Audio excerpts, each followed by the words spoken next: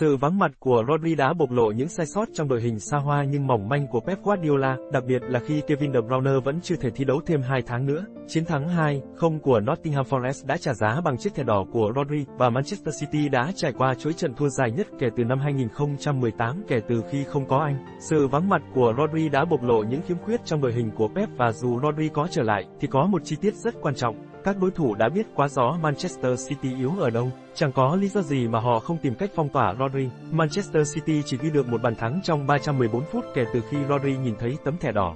Không có Rodri, Bernardo Silva phải bó vào trong còn Rico Luis bị ép vào vị trí gần như số 10. Cả hai đương nhiên bị mất vị trí sở trường và cũng chẳng khó khả năng phòng ngự. Hiểu theo một cách nào đó, Manchester City có thừa cầu thủ để thay Rodri ở tư thế tấn công nhưng chẳng có ai làm được cùng lúc hai việc công lẫn thủ.